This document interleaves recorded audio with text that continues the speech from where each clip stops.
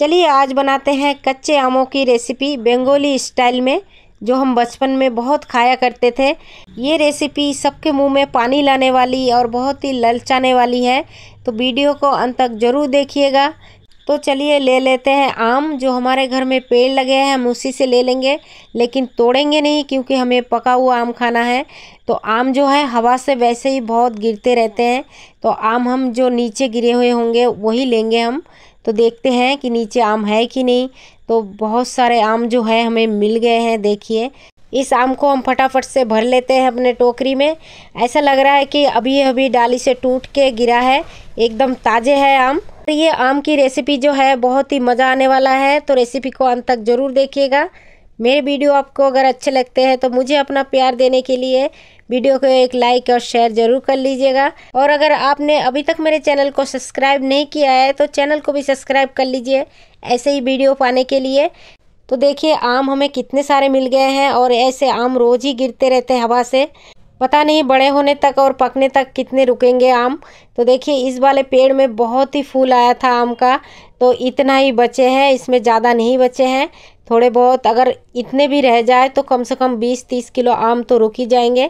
क्योंकि ये वाली जो आम है अभी छोटे छोटे से है, ये बहुत बड़े बड़े होते हैं। बम्बैया कहते हैं हम इसको, आप इसको क्या कहते हो?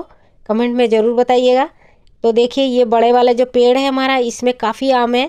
अगर ये आम सारे रुक जाए तो ये तो ट्रक भर जाएगी एक पूरी। लेकिन अभी आंधी तूफ़ान आना बाकी है तो भगवान करे इस बार आंधी तूफ़ान ना आए और मेरे सारे आम रुक जाए पेड़ों में और पके हुए आम हम खा सके खूब। और अगर फिर भी गिर गए कच्चे आम तो इसको हम इस तरह से खा लेंगे। वैसे तो कच्चे आमों की बहुत सारी रेसिपी है, लेकिन ये जो रेसिपी है, हमारी ज़िंदगी की सबसे पहली रेसिपी है, जो हम बचपन से लेके अब तक बनाते हैं और अब तक हमें बहुत ही पसंद है।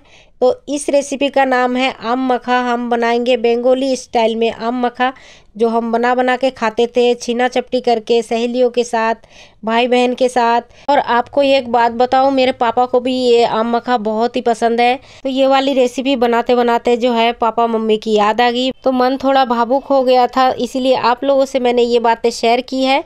तो चलिए अब बनाते हैं। आम मखा, इसके लिए मैंने आम को छील के अच्छे से पानी से धो लिया है, क्योंकि इसमें से काले काले से निकल आता है। फिर ले लिया एक केले के पत्ते और दरात, इससे मैं पतले पतले करके काट लूँगी आम को इस तरह से। और इसके बीजों को भी इसी तरीके से निकाल लेंगे। देखिए, आसानी से निकल आ रहा है बाहर। आम को जितना पतला काटेंगे, उतना ही ज़्यादा टेस्ट आएगा आम मखा में।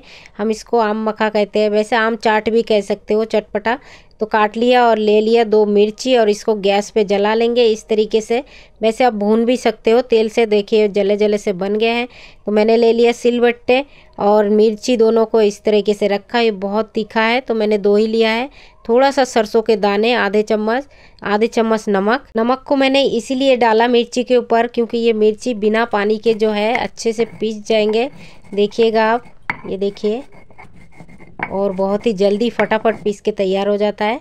इस तरीके से हमें पानी डालने की कोई ज़रूरत नहीं है। तो इसको हम पीस लेंगे दर दरा तो ये पीस चुका है, इसको हमने इकट्ठा कर लिया है। अब इन मसाले को हम डाल देते हैं आम के ऊपर। क्योंकि ये आम चाट बनाना है, बहुत ही टेस्टी और चटपटा तो नमक मैंने पहले कम डाला था तो आधे चम्मच नमक फिर से डाल दिया मैंने। तो एक चम्मच नमक डाल के अच्छे से हाथों से मिक्स कर लेंगे। ये जब अच्छे से मिक्स हो जाए तो इसको एक जगह करके रख देंगे थोड़ी टाइम के लिए, क्योंकि ये मुलायम हो जाएगा। और इसमें डाल देंगे आधे चम्मच के करीब चीनी। इसको डाल के भी अच्छे से हाथ से मिलाना है। मिला के फिर आप इसको खाइए। देखिए, ये कितना मुलायम हो चुका है और इसको बनाने के लिए ज़्यादा टाइम भी नहीं लगता है। बहुत ही जल्दी झटपट से बनके तैयार होता है। तो लीजिए, बनके तैयार है बेंगोली रेसिपी आमेर माखा। तो ये रेसिपी आपको कैसे लगी कमेंट में मुझे ज़रूर बताइएगा। तो चलिए, इसको निकाल लेते हैं। थोड़ा सा खाने के लिए तो मैंने ले लिया केले का पत्ता। केले के पत्तों में खाने का मज़ा ही कुछ अलग होता है। तो देखिए, ये सब बच्चों के लिए खाने वाले बहुत है तो आपको ये रेसिपी अच्छी लगे तो लाइक शेयर ज़रूर कर दीजिएगा। मिलते हैं एक नए रेसिपी के साथ। तब तक के लिए बाय बाय